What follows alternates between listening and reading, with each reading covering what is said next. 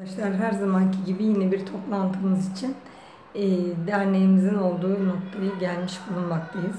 Bugünkü toplantımızda e, yasa tasarısı ile ilgili meclise verdiğimiz e, yönetmelik önerilerini nereye kadar getirdik? Oradan e, bakanlığa gittikten sonra nereye geldi? Ve bu e, son gelişmeleri neler yapmamız gerekiyor? Bu konuyla ilgili arkadaşlarımızı bilgilendireceğiz. Tabii diğer tarafta e, hem Türkiye Sakatlar Derneği, Kadın Kolları hem de Epilepsi ve Yaşam Derneği olarak e, neler yapmamız veya bu duyuruları ne şekilde halkımıza iletmemiz gerekiyor. Buna da karar vermemiz gerekli. Son nokta sanırım güzel olacak ama bu e, Eylül sonu Ekim başından evvel bunlarla ilgili e, sonuçlar beklemiyoruz işin doğrusu. Yaz döneminde pek işlemiyor bakanlıkların olduğu nokta. E, Ekim ayından sonra neler yapalım, nasıl duyuralım, engellilere nasıl yardımcı olabiliriz? Türkiye Sakatlar Derneği Kadın Kolları olarak bizim üzerimize ne düşünüyor? Bunlarla ilgili bazı kararlar almamız gerekiyor. Tabii iki tarafı birden idare ediyoruz. Hem Sakatlar Derneği'ni e, beraberinde götürüyoruz hem de epilepsililer grubunu götürüyoruz.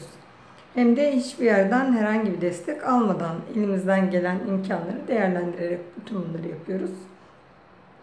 E, bunlarla ilgili çalışma çalışma yapabilmemiz için bizim bakanlıktan en az 3 ay önce e, dilekçelerimizin kendilerine verilmesi gerekiyor. Bu nedenle şimdiden kararlar alınmalı ki e, Aralık ayında eğer bir şey yapacaksak, Şubat ayında bir şey yapacaksak bunları vaktinde duyuralım ve bakanlıkla beraber yine çalışmalarımıza devam edelim. Çok daha farklı şeyler yaparak birçok kişinin haberdar olmasını istiyoruz. Sizler de e, sosyal medyadan bu konuların duyurulması, halkımıza ulaşabilmesi, onların da bu konuda bilgilenmesi için paylaşarak e, bizlere yardımcı olursanız çok seviniriz. Dediğim gibi e, şu anda son noktaya kadar geldik. İnşallah çok güzel sonuçlar alacağız. Biri ombudsmana, biri heyeti, biri de e, bakanlığa gitti. Kısa sürede çok güzel sonuçlar bekliyoruz. 2001'den beri uğraşıyoruz. En sonunda sonuca ulaşacağız galiba. Hep beraber yapacağız bunu sizlerin desteğiyle. Sizleri de aramızda görmekten mutluluk duyarız. Görüşmek dileğiyle. Hoşçakalın.